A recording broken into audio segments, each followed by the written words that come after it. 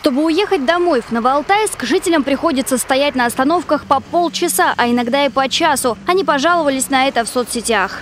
При этом расписание одного из самых популярных маршрутов 125-го, по словам новоалтайцев, не нормировано как вечерами, так и в целом в течение дня. На работу в Барнаул ехать с утра тоже проблематично. Во-первых, ты долго стоишь, а ну, и, соответственно, накапливается народ. А во-вторых, когда накапливается народ, ты не можешь туда залезть просто в автобус. И приходится ждать еще и опаздывать на работу.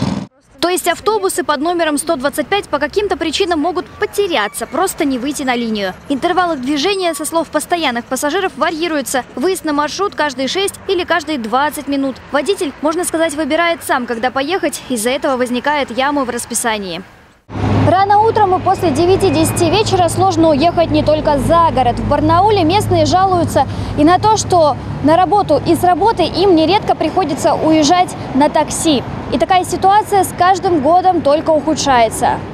При этом поездка на такси только в одну сторону может обойтись и в 200, и в 300 рублей, а за город еще дороже. В Ассоциации пассажироперевозчиков Барнаула нам рассказали, что проблема кроется в отсутствии контроля со стороны властей. Ни финансовой, ни дисциплинарной поддержки от государства на сегодняшний день нет. И пока частники полностью самоокупаемы, им невыгодно продлевать расписание на позднее время или закупать дополнительные автомобили для удобства пассажиров нужна программа. Вот как у нас раньше, до 15 года были программы. Была на 10 э, на 4 10 год, потом была на 10 год 15 год. Пятилетние программы были, где предусматривалось и количество машин, и количество приобретения автобусов, и количество, там и заработная плата, и, и все. С 15 года никакой программы сегодня нет.